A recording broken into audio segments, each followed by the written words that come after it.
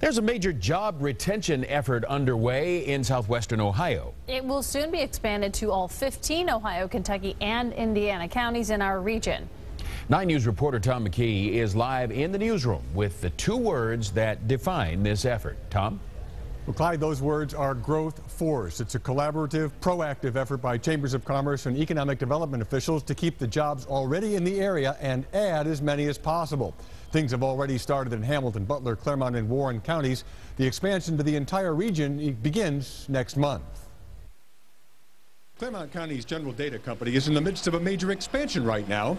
President and CEO Peter Wenzel said it was a tough road to follow. However, it got easier when Clermont County's economic development team, led by Andy Kuchta, asked how they could help.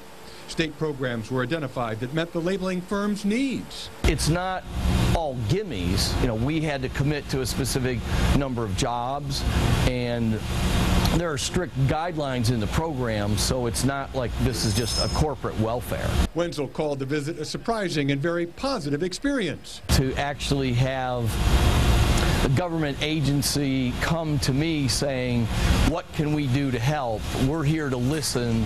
What are your issues? And then come up with some actual concrete solutions was very refreshing. Julia Montel, a Director of Business Retention for the Cincinnati USA Regional Chamber, says that's the new way of doing business. The goal is very clear. It's to retain businesses in the region and to add jobs to the local economy.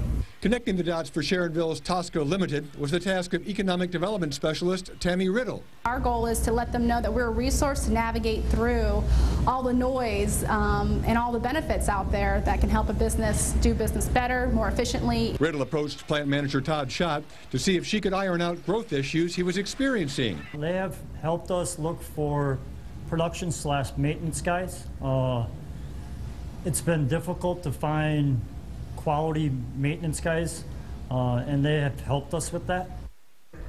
Now, the goal for the southwestern Ohio portion of the program is 300 visits by the end of June, and by the end of the year, it's hoped that a total of 450 regional businesses will have been contacted. Clyde.